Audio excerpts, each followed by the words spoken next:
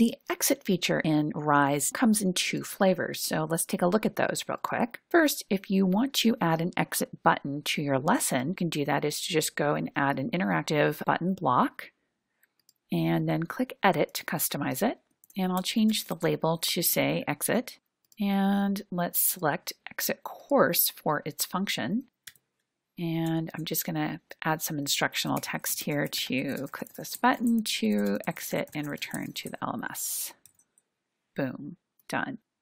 And so now they have that option if this is the last lesson in the course to just click there to exit. Or I can go up to the export function and you'll see I've got an exit course button. And if I turn that on, now I'll have an exit link. So let's preview my course and you'll see in the upper right corner, there's a little exit link there to help folks easily leave the course.